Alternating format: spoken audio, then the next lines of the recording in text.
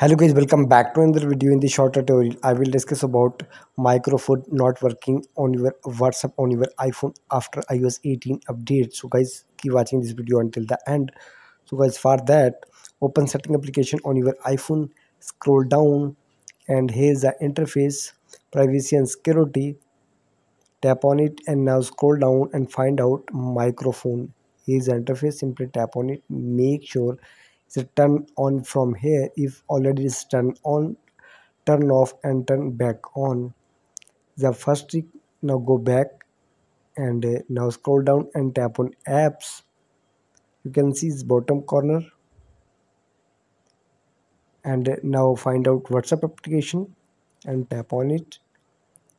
And again you can see microphone is already turned on. So recheck it now go back and now guys check if the next version of ios 18 is available.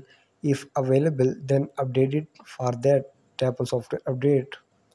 You can see appears on screen. I have already updated on ios 18.1 now last method is scroll down and tap on transfer or reset. Iphone tap on reset.